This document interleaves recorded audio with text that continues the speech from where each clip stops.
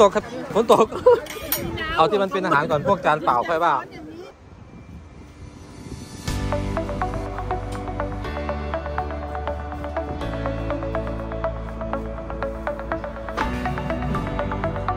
เพียนิดนึง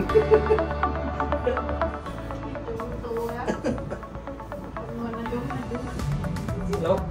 ตกลงเราต้องซื้อคูปอง วนน้ำใหม่ไหมคิดว่ามันก็ไม่เป็นหวัดเลยว่าถ้าเกิดเราพักอเป็ยู่แล้วครั้งอะมันก็ใช้ไปแล้วไงถ้าไปพรุ่งนี้อีกก็ต้องจ่ายตังค์เพิ่มดีกว่าใช่คินเยอะเนี่ยเราไปก็จะประมาณมืดๆตลอดไม่ได้เห็นแสงสีตะวันตกเลยนะ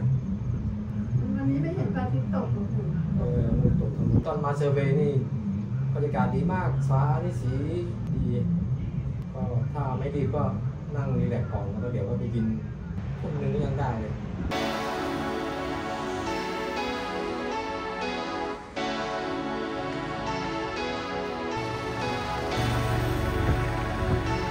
ถึงแล้วครับปีชาซีฟู้ดสาขาบ้านอำเภอมาก็เลย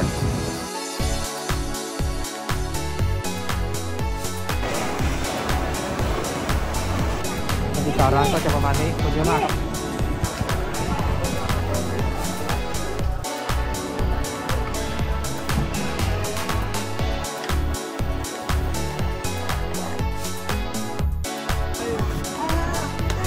มาชิกเราสมาชิกเราไปนั่งรอกันแล้วทางนี้ครับจะมานั่งริมหาดเลยเนี่ยค่ะโอ้เราก็ว่าเราไม่เคยมาเรามาแต่สาขานู่นน่ะ บางเสลโรงแรมครับโรงแรมอ๋อโรงแรมอยู่ใกล้ปีชาซีฟู้ดบ้างเอาฝนตกฝนตกไปก่อนไหมฝนตกครับฝนตก เอาที่มันเป็นอาหารก่อนพวกจานเปล่าค่อยว่าแบบปะอะไรไม่เห็นลมลมก็ไม่มีอ่ามาใช่